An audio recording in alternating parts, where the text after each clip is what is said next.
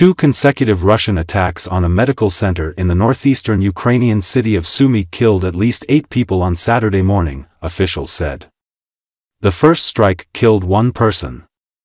Russia attacked again while patients and staff were evacuating, said Ukraine's Interior Minister Ihor Klymenko. Local officials in Sumy said Shahed drones were used in the attack. Eleven other people were wounded, the head of the Sumy City Military Administration, Alexei Drozdenko, said. Sumy lies some 20 miles from Russia's Kursk region, where Ukrainian troops have been deployed since August 6 in a bid to divert the Kremlin's military focus away from the front line in Ukraine. Ukraine's Air Force said it shot down 69 of 73 Russian drones launched overnight as well as two of the four missiles. City authorities in Kiev said around 15 drones had been shot down over the Ukrainian capital and its outskirts.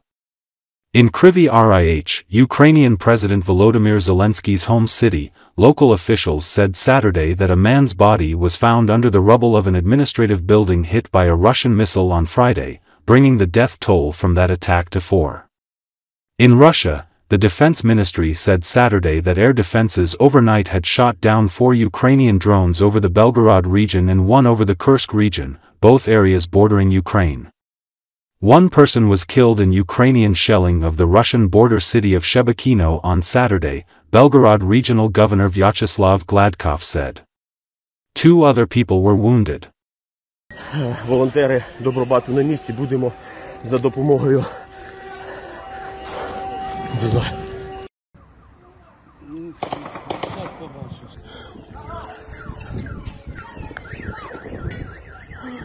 Раненый!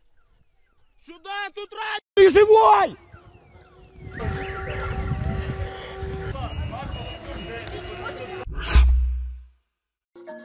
A private Robinson R-44 helicopter has crashed in Russia's Arkhangelsk Oblast, resulting in the deaths of two men, one of whom is believed to be Sergei Smetinin, a member of Arkhangelsk City Council from the United Russia political party. Latvia-based Russian media outlet Meduza and Russia Telegram channels reported this. Reports emerged on September 26 that a helicopter traveling from the village of Bich to the village of Karandashevskia had gone missing and contact with it had been lost. On the morning of September 27, Kremlin-aligned Russian news outlet TASS reported that the wreckage of the helicopter had been found, and the bodies of two people had been discovered at the crash site. A criminal case has been opened regarding the incident, with reports stating that the flight had not been authorized. Telegram channels close to law enforcement wrote on September 26 that Sergei Smetinin, a member of Arkhangelsk City Duma from the United Russia political party, and local businessman Alexei Semenov, the owner of the helicopter, were on board. Smetinin and Semenov, as reported, were flying to go on a fishing trip, Meduza summarized. After sanctions were imposed on Russia due to its bloody war against Ukraine, there has been an increase in aircraft accidents in Russia. This surge is attributed to a shortage of essential parts that Russia previously used to import from Western countries.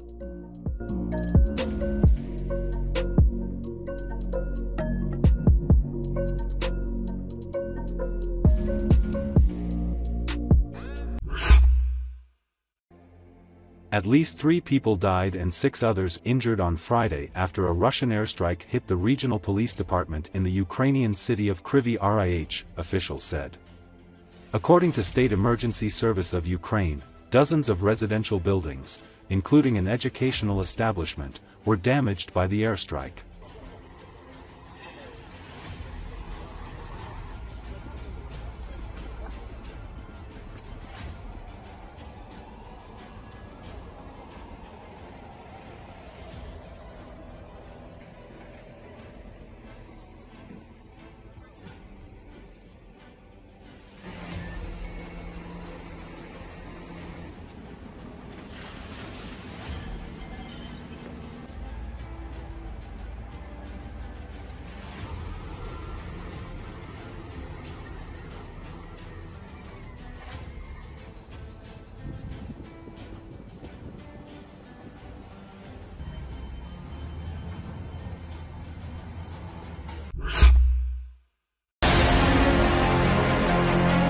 Reserve Colonel of the Armed Forces of Ukraine, pilot instructor, military expert Roman Svitan said in a report for Channel 24 that the Kursk region is less than 1% of the entire territory of Russia.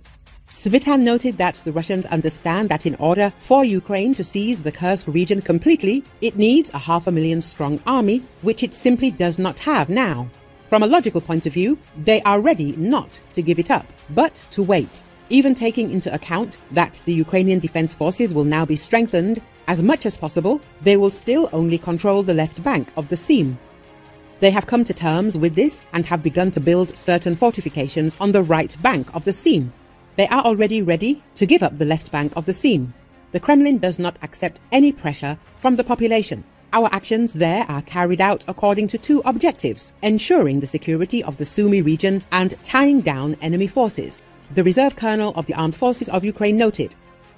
The several thousand Russian civilians still living in territory occupied by Ukrainian troops are mostly elderly and largely cut off from the outside world with no electricity or phone network, according to Ukrainian soldiers.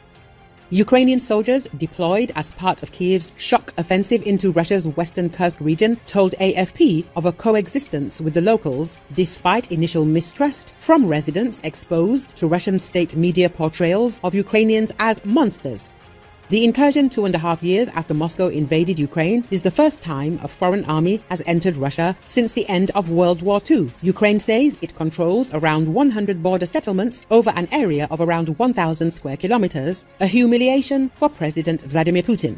Russian authorities have said tens of thousands of civilians fled at the start of the incursion. The number that remained has not been made public.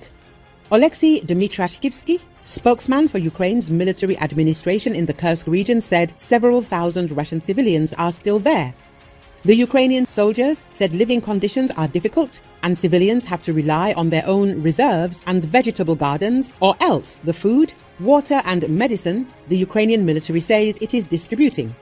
They also reported that shops and pharmacies no longer work. Electricity and mobile phone networks have been shut down and Russian forces, which launched a counter-offensive in September, are constantly bombarding the area.